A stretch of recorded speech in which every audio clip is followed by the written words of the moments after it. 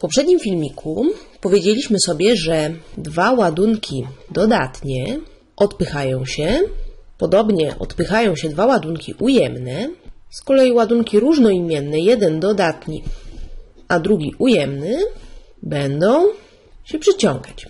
To jest taka obserwacja, która była znana ludziom od wielu wieków.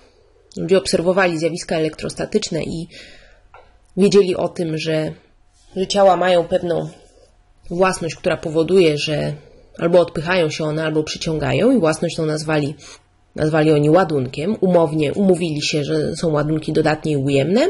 Lecz dopiero w XVIII wieku ludzie zaczęli rozumieć, że wartość tej siły można w jakiś sposób kontrolować, manipulować ją i próbować ją przewidywać. I teraz właśnie pomówimy o tym, jaka jest wartość tej siły przyciągania lub odpychania elektrostatycznego między naładowanymi cząstkami i od czego ta siła zależy.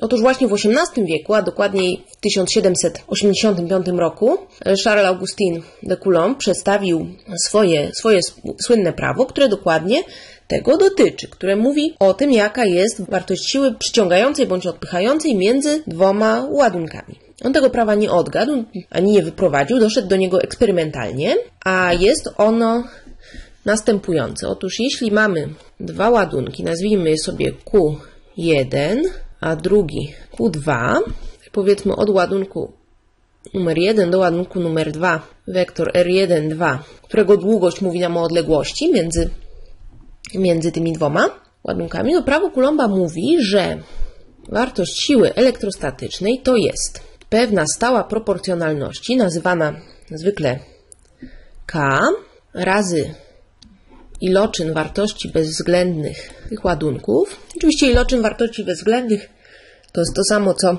wartość bezwzględna iloczynu, dlatego możemy to również zapisać w ten sposób. I to wszystko jest podzielone przez kwadrat odległości. Niech tutaj ta odległość R1, 2 tak, długość tego wektora niech będzie oznaczona po prostu przez r małe. I to jest właśnie prawo Coulomba. I tutaj oczywiście jeszcze trzeba doprecyzować oprócz wartości również kierunek tej siły. I to już wiemy jeszcze z poprzedniego filmiku, że jeśli ładunki mają te same znaki, albo obydwa są dodatnie, albo obydwa są ujemne, to jest to siła odpychająca, działająca wzdłuż tego wektora łączącego dwa punktowe ładunki i działająca w ten sposób, że one się odpychają. A jeśli ładunki są przeciwne, jeden jest dodatni, drugi jest ujemny, to siła również działa wzdłuż tego samego wektora, natomiast ładunki się przyciągają. Chcę Ci jeszcze zwrócić uwagę na podobieństwo tego prawa do prawa powszechnego ciążenia, do prawa przyciągania grawitacyjnego. O, tutaj oczywiście chodzi mi jedynie o wartość siły elektrostatycznej. Ale przypomnij sobie, że siła przyciągania grawitacyjnego jest to zawsze siła przyciągająca, a wyraża się wzorem następującym. Tutaj jest również stała proporcjonalności, zwana G. Tutaj mamy masy dwóch ciał M1 i M2 i to wszystko również jest podzielone z kwadrat odległości między nimi. No i to oczywiście też jest wartość, a kierunek jest zawsze taki, że ciała się przyciągają grawitacyjnie. Tutaj relacja między tymi stałymi proporcjonalności i typowymi ładunkami i masami jest taka, że siła przyciągania elektrostatycznego odgrywa ogromną rolę w mikroświecie na poziomie cząsteczek, atomów. Z kolei siła grawitacyjna w tym świecie, w tych skalach nie odgrywa właściwie żadnej roli. Natomiast siła grawitacyjna, siła przyciągania grawitacyjnego odgrywa ogromną rolę w skali astronomicznej. Odpowiada za tworzenie się całych gigantycznych układów, takich jak gwiazdozbiory, układy planetarne itd. Tak Warto o tym pamiętać. A teraz, żeby sobie to prawo utrwalić, rozwiążemy sobie przykład. Otóż mamy tak, jeden ładunek dodatni, niech jego wartość podamy sobie w kulombach, to będzie 5 razy 10 do minus trzeciej kulomba, a drugi ładunek niech będzie ujemny, jego wartość będzie minus 1 razy 10 do minus pierwszej kulomba. Mam nadzieję, że pamiętasz z poprzedniego filmiku, że kulomb to jest 10 do 19 ładunków elementarnych, więc jest to duży ładunek, tak patrząc w skali takiej mikroskopowej, więc nie będziemy zdziwieni, jeśli również siła wyjdzie nam dosyć spora. Odległość między tymi ładunkami niech będzie pół metra. Dobrze, i teraz chcemy obliczyć wartość siły elektrostatycznej działającej w tym układzie i właśnie pewnie teraz się zastanawiasz, jak mamy to obliczyć, jeśli nie znamy wartości stałej proporcjonalności K. Jest to stała fizyczna, bardzo dobrze znana fizykom, z dokładnością do wielu, wielu miejsc po przecinku. Wynosi 8,98751 i tak dalej. Jeszcze sporo cyfr po przecinku jest znanych, ale do naszego, do naszego przykładu wystarczy nam, ponieważ tutaj mamy, znamy tylko po jednej cyfrze znaczącej wszystkich tutaj tych wartości, z taką dokładnością je podajemy, to wystarczy również tą stałą znać z dokładnością do jednej cyfry znaczącej. Wynosi 9 razy 10 do 9. A jakie tutaj będą jednostki?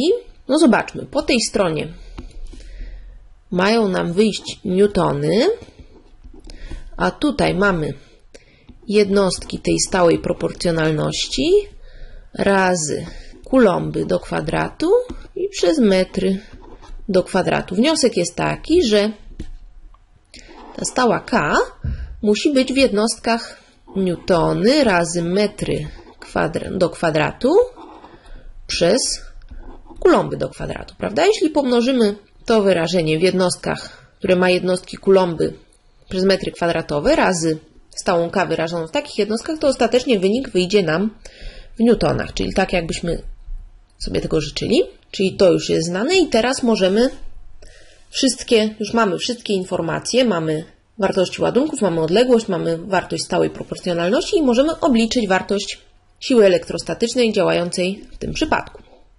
Otóż tak, najpierw stała K to jest 9 razy 10 do 9 tutaj newtony razy metry kwadratowe przez kulomby do kwadratu, dalej razy Tutaj mamy wartość bezwzględną, a tutaj 5 razy 10 do minus trzeciej kulomba. Rozpisuję wszystko dokładnie, żeby tak na pierwszy raz się dobrze z tym oswoić. Z tego wszystkiego bierzemy wartość bezwzględną i dzielimy przez pół metra. Całość, zarówno tutaj ta wartość liczbowa, jak i jednostka, wszystko razem jest podnoszone do kwadratu. Dobrze, ile to się równa? Przy pomocy tej wartości bezwzględnej nam się kasuje ten minus. Może zacznijmy od jednostek. Metry do kwadratu z tymi metrami podniesionymi do kwadratu nam się upraszczają. Podobnie tutaj mamy kulomb razy kulomb podzielone przez kulomb do kwadratu, więc wynik nam wyjdzie w newtonach. Bardzo dobrze. A teraz jaka będzie jego wartość liczbowa? Więc mamy tak. 9 razy 10 do 9 razy 5 razy 1 to jest 5 razy 10 do minus czwartej, 5 razy 10 do minus czwartej i to wszystko przez 0,25. Wynik w newtonach. Co to będzie? 45 razy 10 do 5 przez 0,25. Jak coś dzielimy przez 0,25, czyli dzielimy przez 1 czwartą, to tak jakbyśmy mnożyli razy 4, więc mamy 45 razy 4 razy 10 do 5, 45 razy 4 to jest 40 razy 4 to jest 160, dodać 5 razy 4 to jest 20, czyli 180, to 80 razy 10 do 5 newtonów, to się równa jeśli sobie to podzielimy przez 100, a to pomnożymy przez 100, to dostaniemy, że jest to 1,8 razy 10 do 7 newtona. To jest nasz wynik. Możesz sobie porównać siła przyciągania grawitacyjnego, jaka działa na powiedzmy torebkę cukru o masie 1 kg w naszym polu, naszym ziemskim polu grawitacyjnym to jest, to jest 9,8 newtona, a tutaj mamy 1,8 razy 10 do 7. Możesz sobie porównać, jest to gigantyczna siła. Można się zastanawiać dlaczego. Otóż, tak jak mówiłam na początku, dlatego, że te ładunki, które tutaj podaliśmy, są dosyć duże. I odległość między nimi nie jest też wielka, stąd taki duży wynik. A teraz jeszcze jaki jest kierunek tej siły? Otóż wiemy, że ładunki są różnoimienne, dlatego siła jest przyciągająca. Każdy z ładunków odczuwa wzdłuż tutaj tego wektora łączącego te dwa ładunki działanie siły przyciągającej ze strony drugiego ładunku.